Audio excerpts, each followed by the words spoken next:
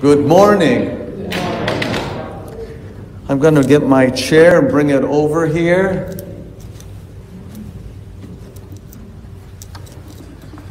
You want to sit down right there in front of that little yellow spot there? That'd be nice.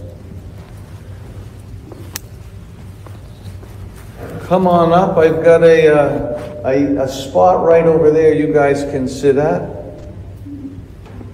Yeah, just come right around. You guys can all sit together for because you're from the same house. That's good. In the name of the Father, and of the Son, and of the Holy Spirit. Amen. Have you ever heard of the show Extreme Makeover? I don't know if you have. It's kind of a strange show. Sometimes people don't think they look good enough, and so they want a makeover. They want like to change their whole look. Sometimes they do it with houses. They want to change their whole house around. This is how it looks. I don't like the way it looks. I want to change it all around. And there's a show that changes their house, and then the house looks completely different. And the people either go, Wow, I love it so much, or they say, What did you do to my house?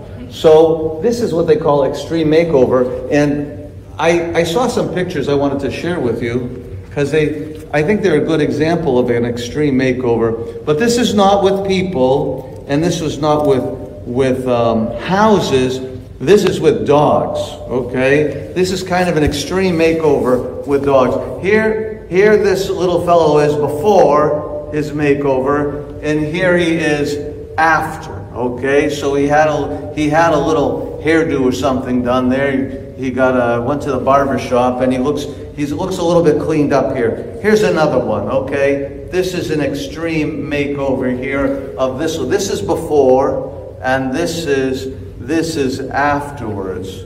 All right? And let's see, I got a couple more here. Let me just go to my favorite. Yes, this is definitely my favorite. Here is before and after. That's an extreme makeover. This is the same same little little dog. They call this dog Biggie Smalley.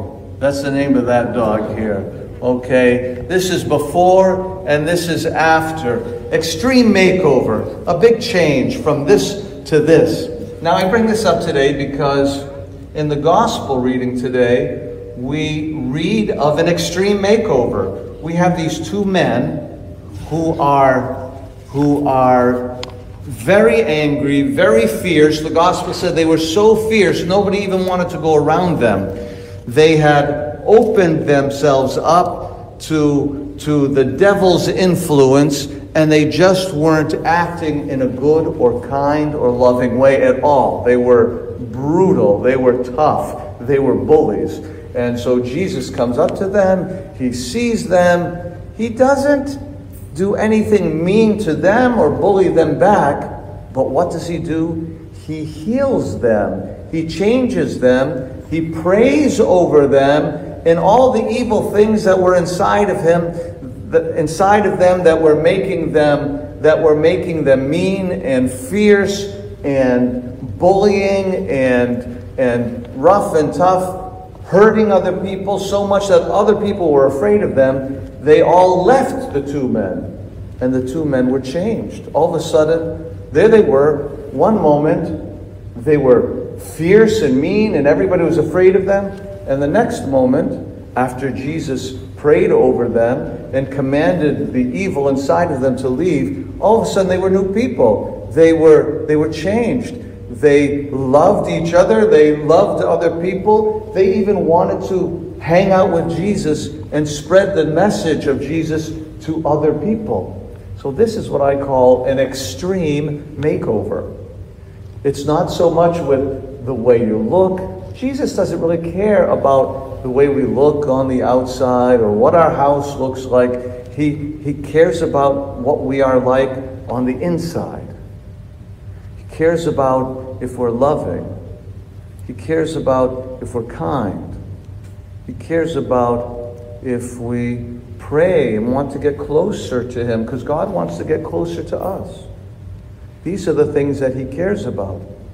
And so there are times for all of us Maybe we're not as mean and fierce as the two guys in the gospel story, but there are sometimes things in us that are mean. Maybe not all the time, maybe sometimes. We get mean. Sometimes we say an unkind thing. Sometimes we're rude. Sometimes we lie. Sometimes we don't do what we're supposed to do. Sometimes maybe we even hurt other people's feelings. And so we need to ask the Lord every day. I do. I ask the Lord every day to help me, to take whatever is not good in me and help me to be loving and kind, the things that Jesus is. Because we want to imitate Jesus, we want to follow Jesus, we want Him to help us so we're like Him. So that's today. I want to share with you. Extreme makeover. You got Biggie Smalley that I showed you, but you also have ourselves. God can really change us from the inside out. Let's stand up and I'm going to pray over you. In the name of the Father, and of the Son, and of the Holy Spirit, Amen. Lord, today we remember the demoniacs that you healed.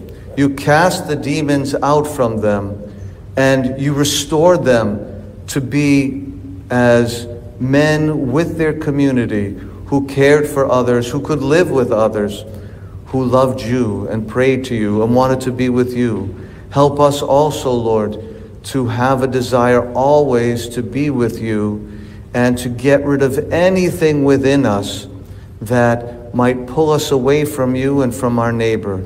We do this with your strength with your power and grace. For you are holy, now and ever, and unto ages of ages. Amen. Christ is in our midst.